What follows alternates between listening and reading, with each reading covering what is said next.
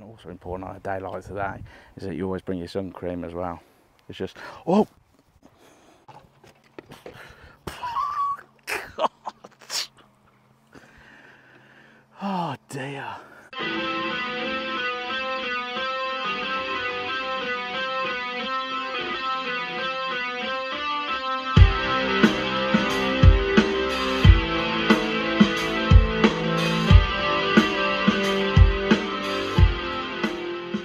Hi you guys and welcome to First Time Fishing with me Big Bird. Today we're going to be talking feeder fishing on Snake Lake. We've come down to the beautiful Tunnel Barn farm and we've come and set up camp on Jenny's pool.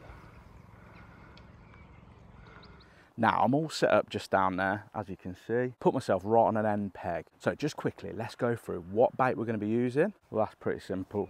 Just opted for the old uh, micros. We're just going to be using a 4mm pellet that's on the hook. So pretty simple, fishery pellets, off we go. And now let's talk tackle. So those of you who have watched previous videos of mine, you know how much I'm in love with the Free Spirit High S feeder rods, but we're gonna size it down a little bit today.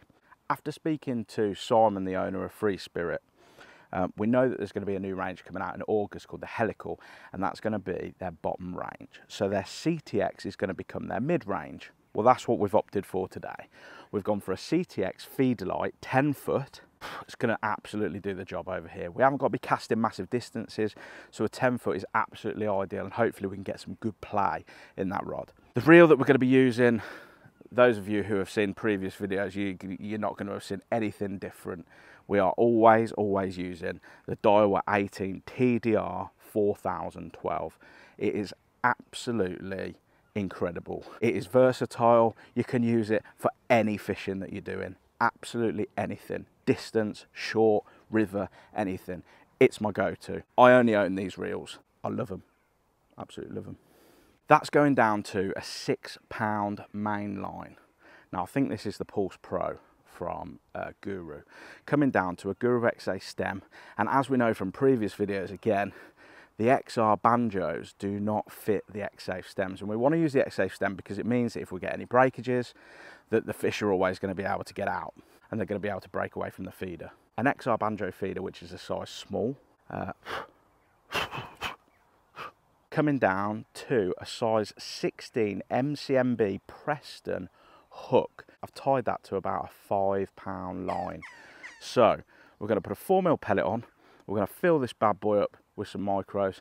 Let's get fishing.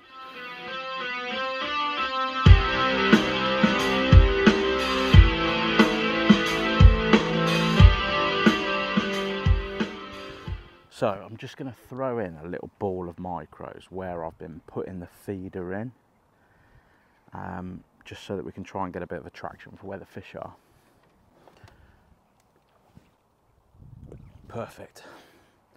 So we're having a few little indications where the tip of your rod starts doing this a little bit. We don't actually want to be striking and you know and reeling the fish in until we see the tip go right round. So have confidence in leaving it there. What you've got to remember is the weight of the feeder that's on there is actually keeping the hook in the fish's mouth and it shouldn't really come out even if you leave it for a good five seconds with the tip coming round. And hopefully we'll uh, we'll catch one in a minute and I'll be able to show you. Right so we have our first victim. You can see the end of the rod going round and he's giving a good old pull. Trying to go for the reeds. Just tightened up the the clutch there on the reel. And let's let the rod do the work and absorb all of those thrashes from the fish. See if he wants to come up. See if we can get a first sight of him. Make sure we don't go under the platform. They know where all these snags are, I'm telling you. Just giving a good old pull, testing the old 10 foot CTX out. Keeping him there, and the elastic that we've got on the end of the of the feeder is going to help absorbing all of that as well. Look at him. Oh, here he is.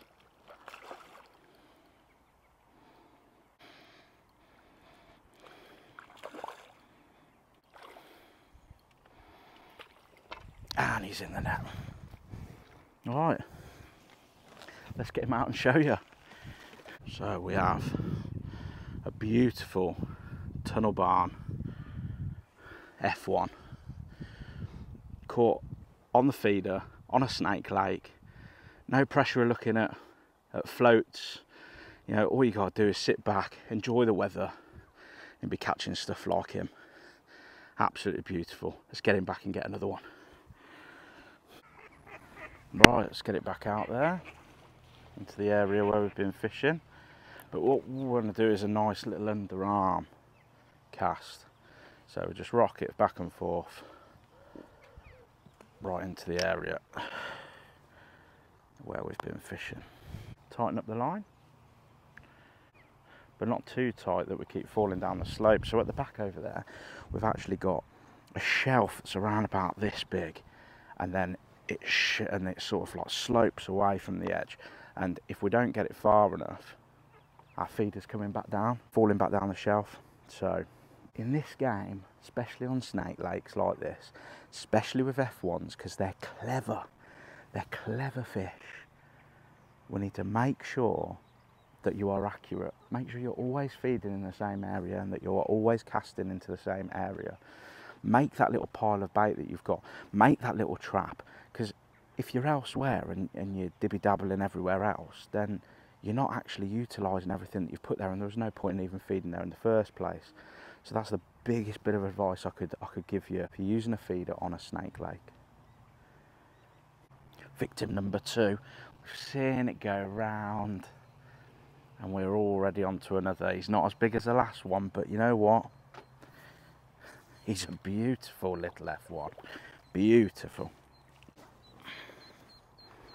Absolute little beauty. Let's get him back.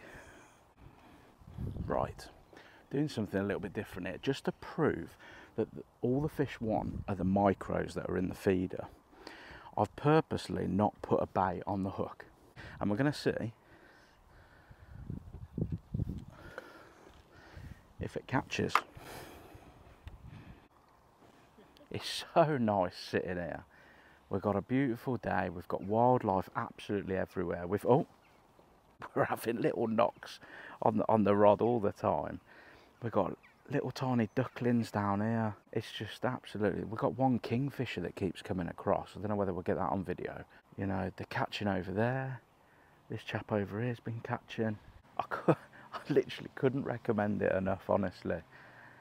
It is just so relaxing, enjoyable, fun get out when you can, make the most of it. My granddad liked to make the most of it. Unfortunately, he ain't here and he can't. So I fully intend to make the most of it while I am. It's also important, also important on a day like today, is that you always bring your sun cream as well. It's just, oh, God. Oh dear. Since you walk away from your box. this little fish is proof you don't need any bait on a band or a hook when you're putting it in the feeder because all they want is micros caught on a baitless hook. Let's get him back. Once again, another little underarm cast over to where we've been. Should have built up quite a bit of quite a bit of um, bait down there now. So, see if we can get another one. So, what I am going to do now is I'm going to just prep this margin with a few micros because I think we'll have a little dabble in the margin. See if we can see if we can catch a lump out of there on the feeder. That is exciting fishing. So, quick chat about the margin. Feeder fishing in a margin basically you're going to have around about probably this amount of line between your feeder and your rod. So it is so important that you allow your drag on your reel to be able to let the fish go. Otherwise you're going to snap your rod or the rod's going to end up going in. So once we've caught another one over here, we're going to go into this margin. I've been feeding it, been prepping it, and hopefully we'll catch something in there. Right, I'm making an executive decision. I'm not actually going to wait until we get a bite over there because I can see fins all over the place. I can see vortexes in the water. So we're going to come into the margin now and let's see if we can have some excitement in there. I'm just going to adjust the camera so that we can. Oh, there's big fish down there.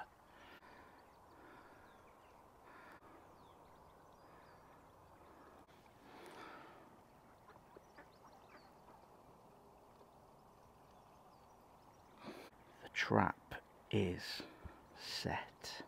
Always remember we've got to have our drag so the fish can swim away with it.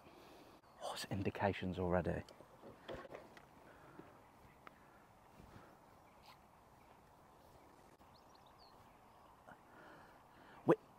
We're on, we're on, we're on. Oh, that was quick.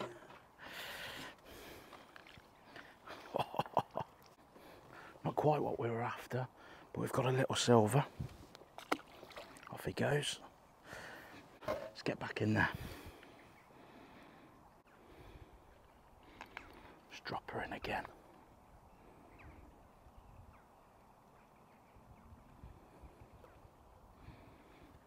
Just a few micros.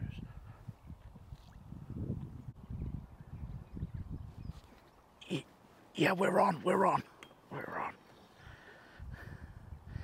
And he's another little F1. Beautiful. I tell you what though, the fins were bigger than that that I was seeing down there, so we'll have to get back in there. Here he is. Go and find your dad. Drop her in again.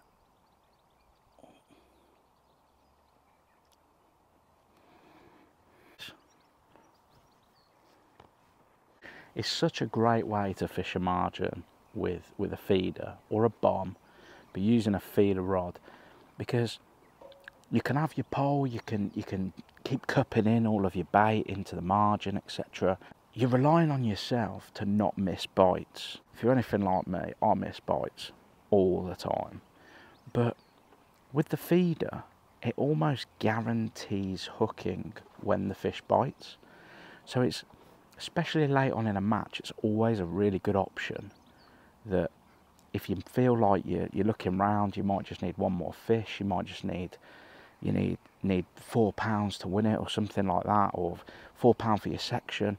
You know, in a match, opting for the feeder and lobbing it into the margin might just win it for you. We've all been there where we need that one more fish, and we've gone and put it in the margin with our pole, and the float's gone down. We've strike. Oh, we've missed the bite. With a feeder, you're guaranteed your bite.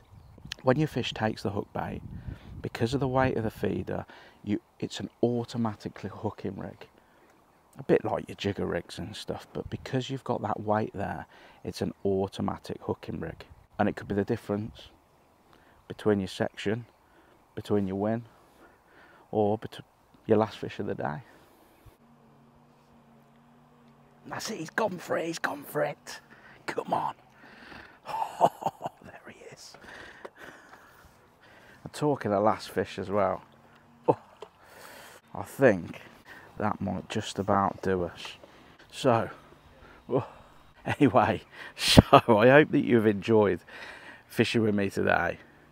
Here is the beautiful little F1 that I've just caught in the margin. And it could be an absolute game changer fishing a feeder on a snake lake. What can I say? I hope you've enjoyed it because I've had a cracking day. Anyway, all there is for me to say is if you're fishing this weekend, tight lines.